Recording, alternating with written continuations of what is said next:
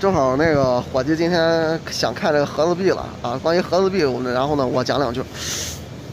看了吧？盒子币啊，其实就是说这个盒子币里面有很多都是，哎呦，盒子币里面有很多都是假的。盒子币里面就是说保真的，一般是什么呢？是一般是公博家的，公博。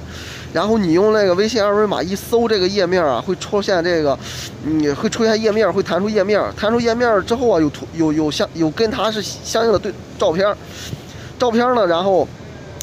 然后在那个你点一下，它能弹出来。然后你要是下拉这个页面的话，有公博加的这个网页的这个地址，一般这样的东西是对真的。像这种东西，这这是送钱啊，这这个这这个这送钱的话不值钱啊，这个是带下字的，这个这个钱应该不对，这钱不对啊。所以说带盒带盒子的钱不是说百分之百都对的啊，装盒子里的钱不是对的啊，装盒子很多装盒子里面的很多都是假的，很多很多都是假的。啊，如果说想玩盒子币的话，也得格外注意，一定要看评级啊，一定要看是公博家的，啊，然后再一个就是这个，呃，扫一下那个二维码，弹出来有这个页面，打点图片能点开，还有往下拉的页面的时候有网址，哎，然后再对比一下，照你弹你搜索出来的这个页面跟这个手里装进盒子这个是不是一样的？这这就是真币假币的来源，任何东西都有仿品，买东西是需要谨慎的哈。正好这个，就是说这个拿起这个盒子币了啊，正好就就讲两句啊。所以看看啊，这个是乾隆的外销瓷，这是乾隆的，典型的乾隆的，外销，釉面肥润，画工精美。看看火石红，啊，自然莹润，很开门，乾隆的外销的啊。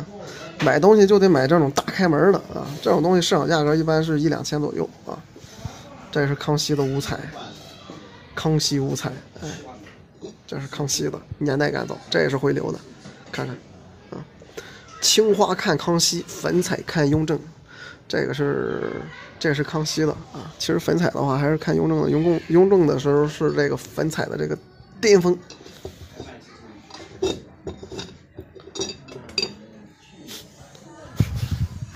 好不好？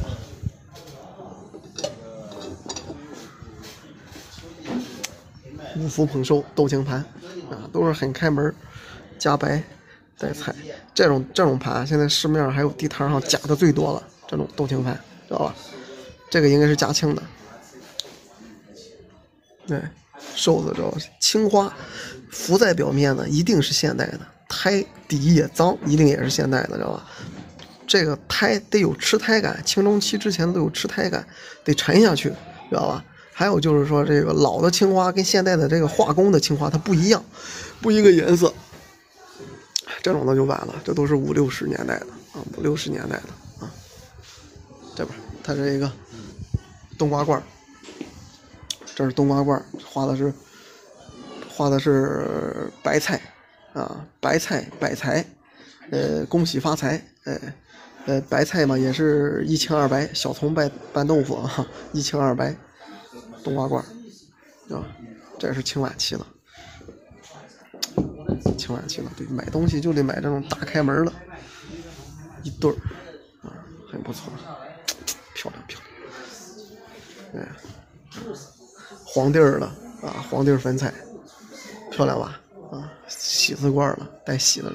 带喜字的东西，最早就是出现在就是就是最早最早就是就是那个最早是乾隆，哎，最早是乾隆，乾隆嘉庆哦，不是说错了啊，这里错了，口误口误啊，喜字儿喜字罐喜字盘带喜字的，最早是出现在是这个呃乾隆的儿子是嘉庆，最早是嘉庆，最早就是嘉庆带喜字的，只要是带喜字的东西，不管是青花还是粉彩啊，还是干嘛的。只要是带喜字的，最早出现的年代就是嘉庆啊，最早是嘉庆哈。刚才口误了，说成乾隆了，最早是嘉庆，所以这个是晚期的，很漂亮哈。这菊花、牡丹、蝴蝶画的都栩栩如生，大盘象征着富贵啊，富贵吉祥如意，身份的象征，漂亮啊，简简单单。其实买东西就得买大开门的东西，他们家东西都很老啊。